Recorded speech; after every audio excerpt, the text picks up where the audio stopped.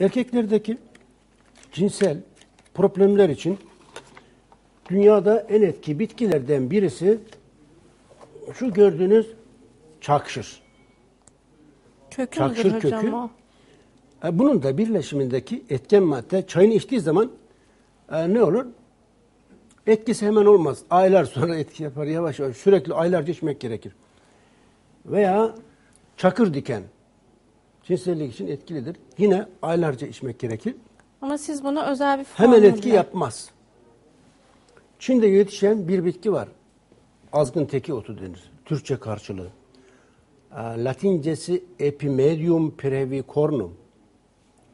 Bu bitki bu da çayını içtiği zaman bitkinin hemen etki yapmaz. Yavaş yavaş kademeli bitkisel yani şifalı bitkiler cinsellikle ilgili şifalı bitkiler çakır diken, çakşır kökü, azgın teki otu, damihana, yohumbin vesaire.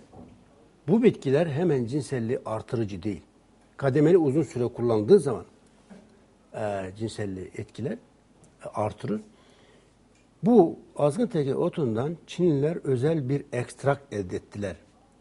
İkarin S denen damıtılarak elde edilen ekstraktı İkarin S kimyasal ilaçlardan daha etkili ve hiç yan etkisi yok. Tansiyonu, nabzı negatif etkilemez. Mesela bazı kimyasal ilaçlar, cinsellikle ilgili ilaçlar kullananlar tansiyonu birdenbire yükseliyor, kalp atışı hızlanıyor, aniden ölüm vakaları olabiliyor birçok insanda. Mesela evvelki gün bir beyefendi beni aradı. E İşte yani her ihtiyacı olmadığı halde cinsel performans için bir e, üç çocuk babası duymuş arkadaşlarından almış bir ilaç kullanmış. Aa, çok kötü olmuş. Panik başlamış. Aa, panik atak korkmuş.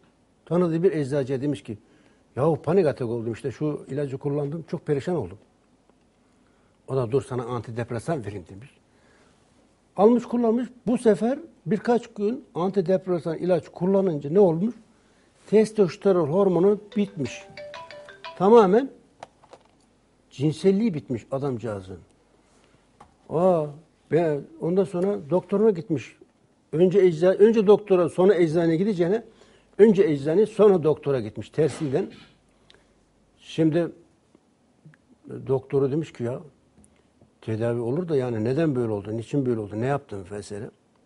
Çok zor bir durum. Dedim ki tedavi ederiz yavaş yavaş. İksir aloe vera jel bu çok özel bir macundur. Epimedium ve 19 bitki ekstraktından oluşur.